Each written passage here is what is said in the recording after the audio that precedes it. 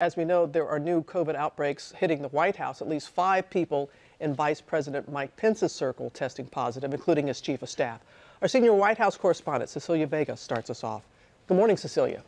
Hey, Robin, good morning to you. And here we are with just over a week to go until Election Day. And now we are talking about yet again another outbreak of the virus inside the White House. This one in the office of the very person who runs the coronavirus task force.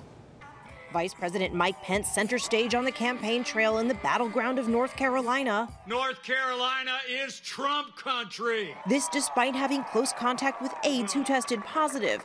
At least five people in his inner circle contracting the coronavirus in recent days. His chief of staff, Marc Short, who was with the vice president on every campaign stop last week, including Friday night at a rally in Ohio. Short now in isolation and experiencing symptoms. Pence's body man, a personal assistant who accompanies him virtually everywhere, a political aide who recently traveled with Pence on Air Force Two, along with two other staffers. Wearing a mask as he headed for his rally, the vice president, head of the White House's coronavirus task force, ignoring the pressing question.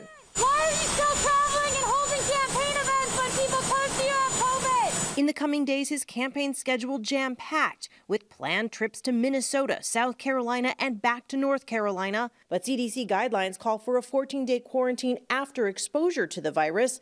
A spokesman saying Pence will continue to travel as planned, quote, in accordance with the CDC guidelines for essential personnel.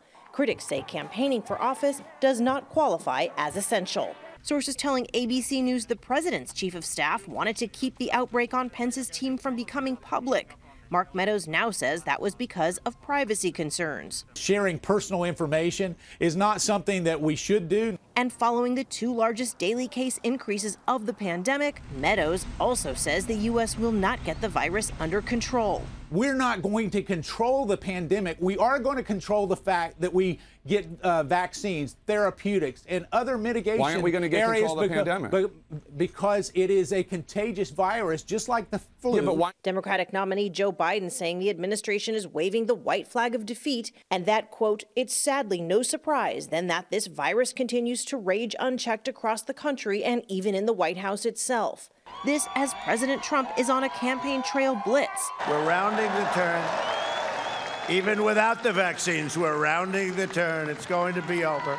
Continuing to downplay the alarming rise in cases, even as the virus hit his own White House once again.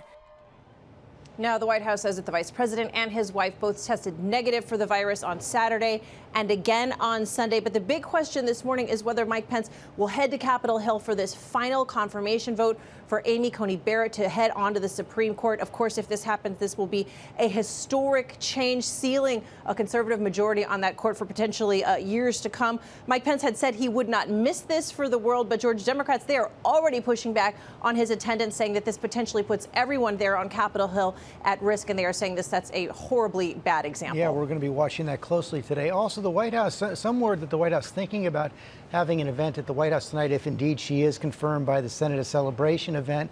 We all remember her nomination in the Rose Garden just a few weeks back. At least 12 people at that event contracted the coronavirus. Yeah, it's exactly that. The White House says that they are potentially planning for this, uh, what would be a ceremonial swearing in as early as this evening. It would take place outdoors, perhaps in the Rose Garden. Uh, but, you know, you just said it. It's really like a deja vu event, uh, going back to that announcement where President Trump announced her as her pick, as you said, more than a dozen people uh, at that event contracting the virus, George. Cecilia Vega, thanks very much.